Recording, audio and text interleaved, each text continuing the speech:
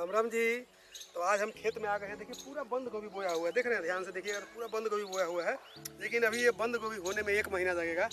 और कुछ बंद गोभी आगे के दूसरे खेतों में तैयार है तो यहाँ पे जो यहाँ पे है ना वो तैयार बंद गोभी है तो यहाँ से हम देंगे तो यहाँ पे ही पत्ते को हम तोड़ देते हैं